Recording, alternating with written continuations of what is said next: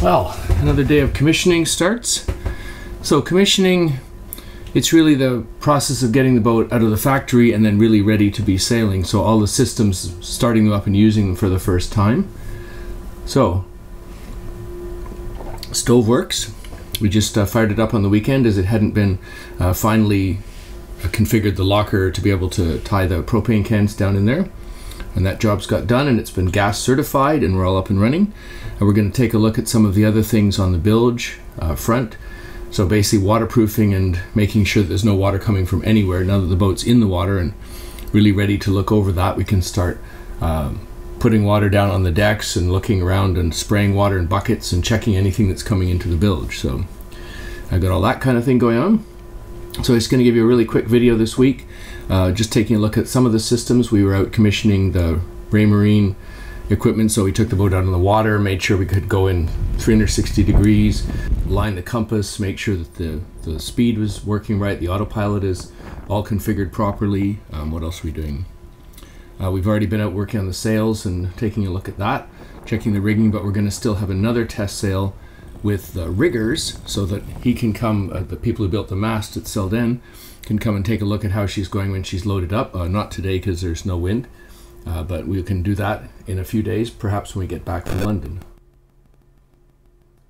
Also, this weekend we're going to be taking the boat on her first real little cruise as we'll be sailing around the south coast of England, pass through the Straits of Dover and up the Thames right into London. So very excited about that. That'll be next week's video, but for now let's take a look at just some of the commissioning things we've been doing. Well, this looks like way too much fun. Mm. a bucket of water with a stick taped to it with yellow tape. So this is what you're going to use to determine how whether we're sitting level. Uh, how well, much no, we just how much it moves, so we get sting a pendulum down from there, and then every time we shift away from one side to the other, we uh, we measure how much the pendulum moves, and that gives us an angle.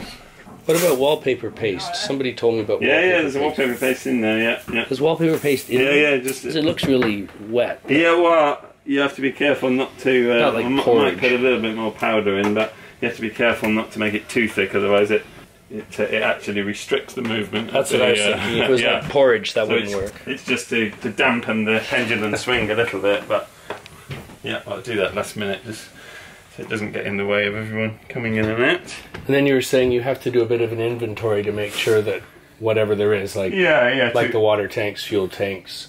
Because we're gonna we're gonna measure the freeboards in a minute from the dinghy, and then those freeboards will tell us the weight of the boat. But we need to know what's on the boat uh, that's that's perhaps extra to standard um, basic ship. So there's there's obviously a few tools, and uh, uh, there may be some some stores and stuff stuff that you guys there, have. There was a bottle of wine, but we drank it. All right, yeah, yeah.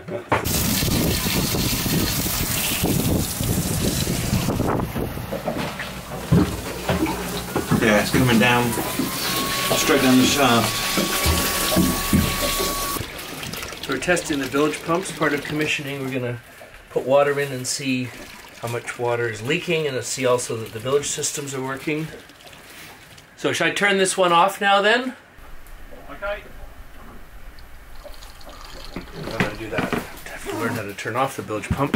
It's on the other side here.